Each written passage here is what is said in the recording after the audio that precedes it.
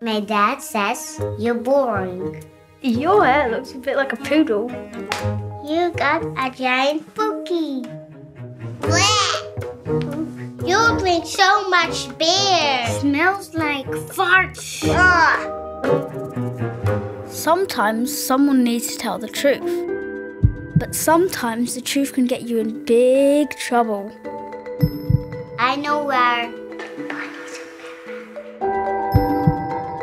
They bribe my boss with Tristy Monte Carlo.